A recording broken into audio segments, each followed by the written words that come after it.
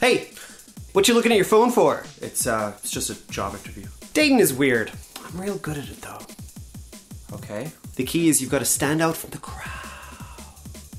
I don't. You gotta flush out the pipes. Cleanliness is important. Women need food to survive, so if you feed them, you've technically saved their life. Ah, tuna flavor. Does this work for you? I gotta be me, so. No.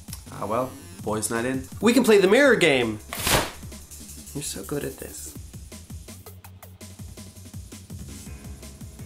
Hey, thanks for enjoying our video. It was a big mess. There's a lot of water on the floor, but if you've enjoyed it, we have more sketches coming out on our Facebook page, our YouTube page, and we post jokes every single day over on Twitter. Where is that? It's at Auntie's Comedy. Uh, no full stops, no capital letters. At Auntie's Comedy. So check it out.